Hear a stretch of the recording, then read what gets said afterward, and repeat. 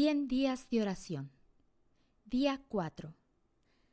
El versículo de este día está en Salmos 91, 2 al 4. Diré yo a Jehová, esperanza mía y castillo mío, mi Dios en quien confiaré.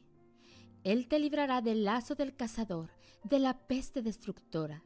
Con sus plumas te cubrirá y debajo de sus alas estarás seguro.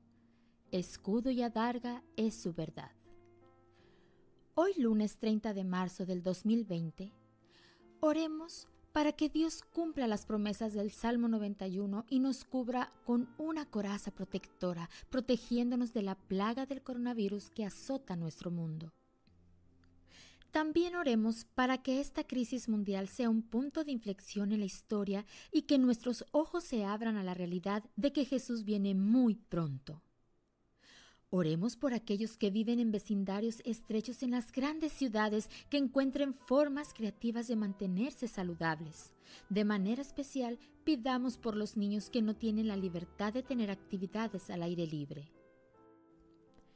Roguemos para que en las muchas decisiones que enfrentan los líderes en diferentes partes del mundo, Dios les dé sabiduría en estos tiempos desafiantes.